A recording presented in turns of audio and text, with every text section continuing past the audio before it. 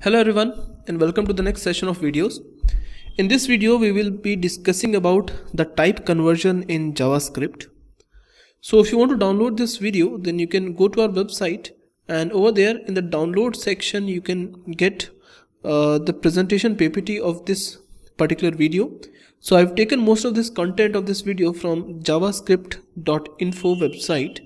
So you can also visit the javascript.info website for some notes or you can also visit in the download section for the presentation PPTs for this video. And if you want to take our courses then you can visit our course section. So this video is helpful for examinations like UGC NET and KVS or any PGT examination that can be for any state or sometimes it also helps you in some other examinations also where JavaScript is a syllabus. So let us start. So in this video we will be discussing about the type conversion. So type conversion is converting one type to another type.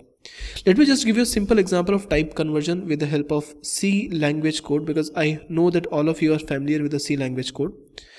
So in the C language, when you convert one type to another type, for example, if I'm taking uh, this main function and I'm taking float a is equal to 3.6 I'm taking integer b is equal to 5 now if I try to do a plus b now because a is a floating point number and b is an integer number therefore the result that we are going to get will also be a floating point number. So result will be a floating point number.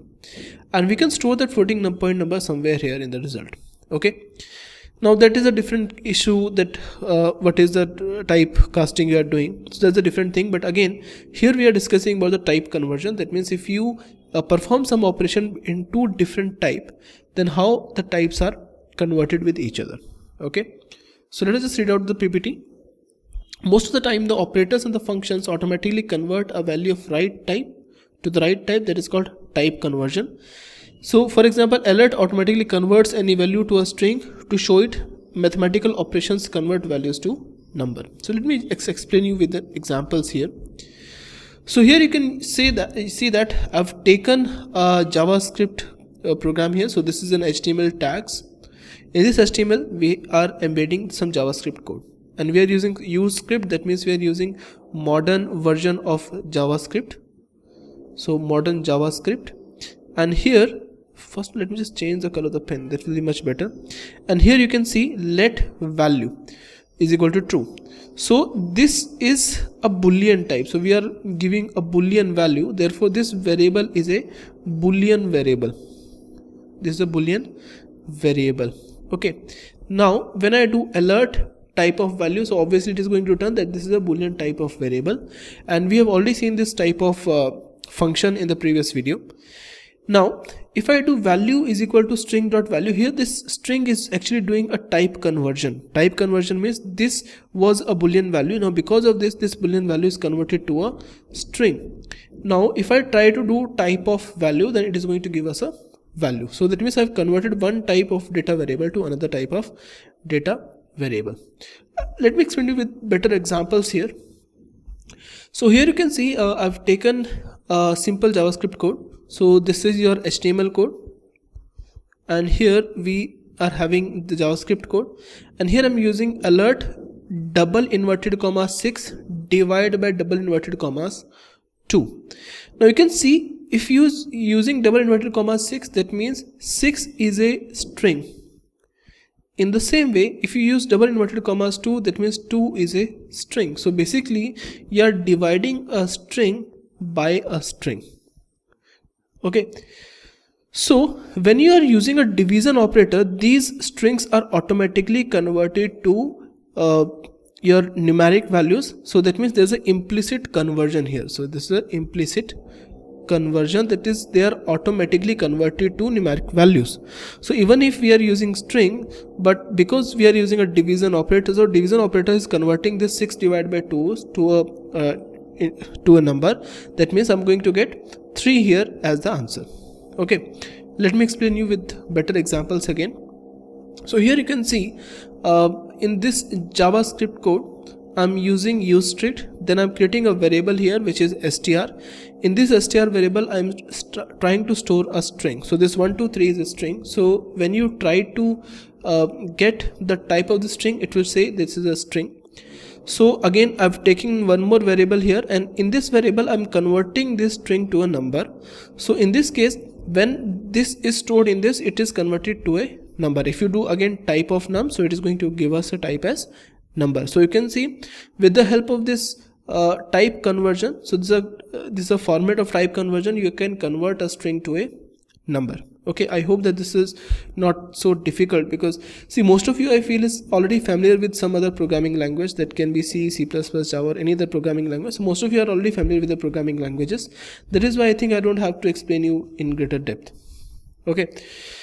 So here you can see um, i'm taking let age is equal to number. So here uh, this entire is a string this is a string. Now if you try to convert this string to a number it cannot be done. But if you try to do number of uh, 1 2 3 4 now these are numeric values. Even though these are presented as a string so still a type conversion can happen and this will be converted to a number. But here you can see clearly this complete is a string. And here you can see if we are trying to convert this entire set of characters in numbers it cannot be done so when you try to print this age then you can see it is going to turn nan which is uh, saying that this is not a valid value and conversion failed. So the output will be nan in this case. Okay? So there is a, it, it shows that it is not a valid number.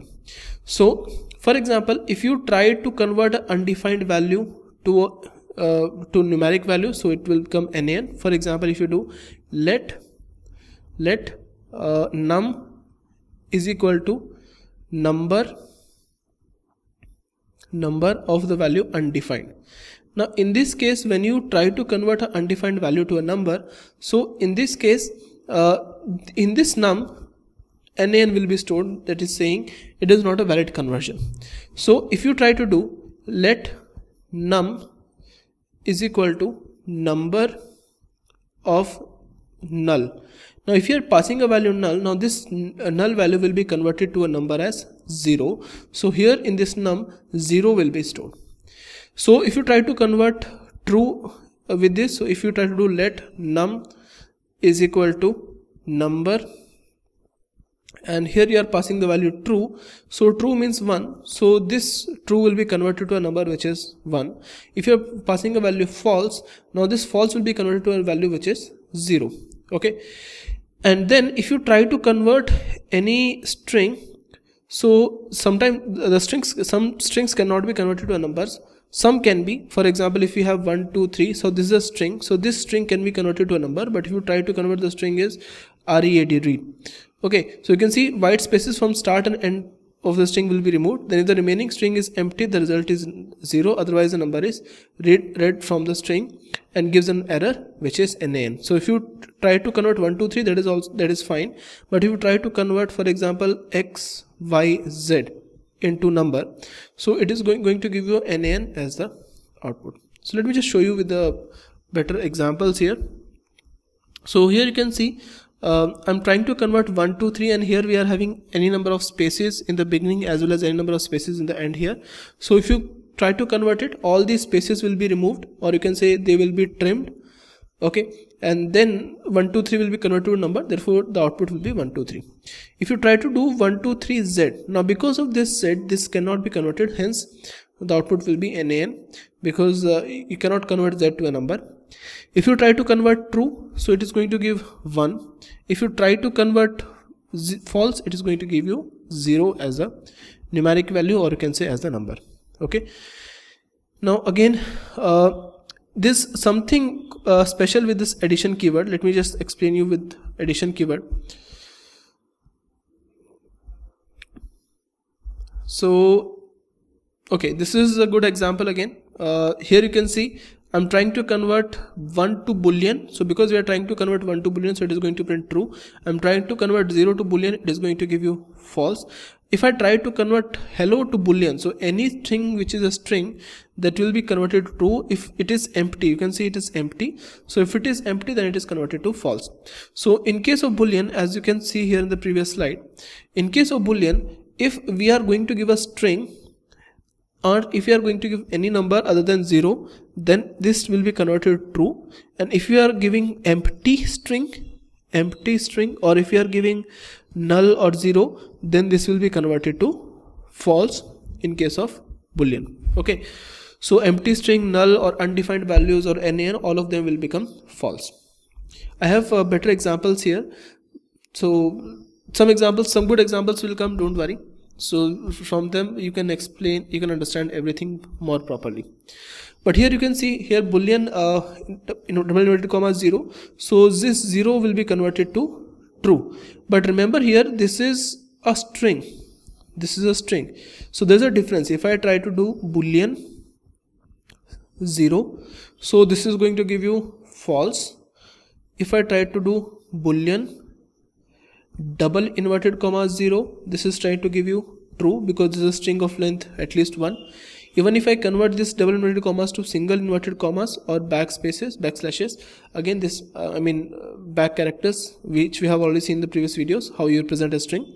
In those three cases it's going to give you true otherwise it is going to give you false. And here because you can see uh, the string is empty. But uh, there's a space here. So space is also true so in this case if you just give without any space that is false. If you try to give with space that is going to be true. So this is going to return return a value which is true. Now you can see this conversions here. So in the very first case uh, plus is a special case because in case of plus if you are using plus so plus is going to convert uh, if you're using here it is a string. So it is going to convert this entire into a string. So result will be 1 0 in the form of a string. So plus is a special case.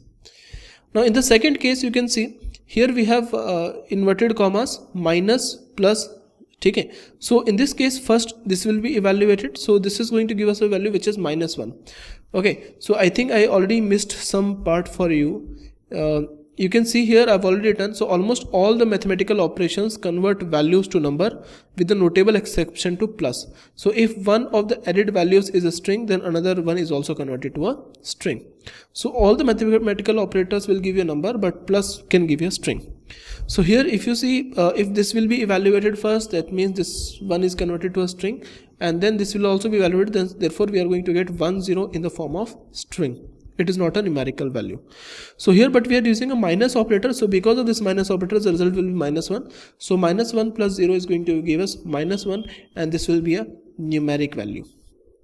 Okay. So true plus false. So because it is a plus operator so plus operator is going to convert this to a number. So true is 1 false is 0 so it is going to give you value 1 the next we have 6 divided by uh, inverted commas 3 so that means it's a string. So this is not a plus operator this is a division operator. So everything other than plus is going to convert them as a uh, uh, number. So 6 divided by 3 is going to be 2 and this is a numeric value. In next case we have multiplication. So multiplication again is going to convert both of them in the form of a number. So 2 multiplied by 3 is going to be 6 and that is again will be a numeric value.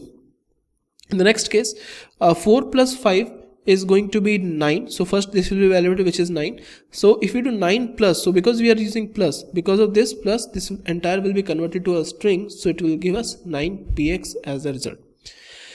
In this next case because our dollar is here so dollar 4 and so this is entirely converted to a string and then this result will be embedded with this. Therefore it is going to give dollar 45 as the result in this case we have numerical uh, this is subtraction value. So because of subtraction so this 4 string will be converted to a number. So it will be 2 uh, in numeric value. In next case here we have 4 px and here we have subtraction. So subtraction means it has to convert this uh, numeric string this string into a numerical value. But uh, px cannot be converted. Hence this is going to give us a value which is nan nan or you can say it is not a valid value. So 7 divided by 0 is undefined. So this is basically an infinite, infinite value. So it is going to give you infinity. Now we have again plus so we have minus 9 slash n plus 5 so here this entire string because of this plus this entire will be converted to string. Therefore the result will be minus 9 slash n 5 and this entire will be a string in the next case we have subtraction operation. So subtraction operation can only be done on numerical values. So slash means you can skip this value. So minus 9 minus 5 is going to give us minus 14 next is null plus 1 null plus 1 is going to give us a value which is 1 because null means 0 now undefined plus 1 undefined is plus 1 is going to give a value which is nan or you can say uh, not a valid value okay?